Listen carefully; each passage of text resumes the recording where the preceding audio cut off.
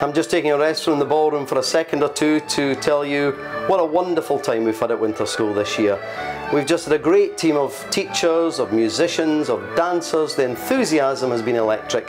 They've been educated, they've had great enjoyment, and tonight we're up at the home of the Duke of Atholl, great connections with the Royal Scottish Country Dance Society. I'm sure our founders and the original Duke, who was part of our society, will be thrilled that we still come here. We've just danced Eightsome Reel. The dancing is wonderful. Behind me is our patron, Her Majesty the Queen, who enjoyed Scottish country dancing uh, here and elsewhere. So um, Winter School is fabulous. Come and have a great time. We have ceilidhs, we have classes, we have fun parties, and we finish up Blair Castle. Can't be better.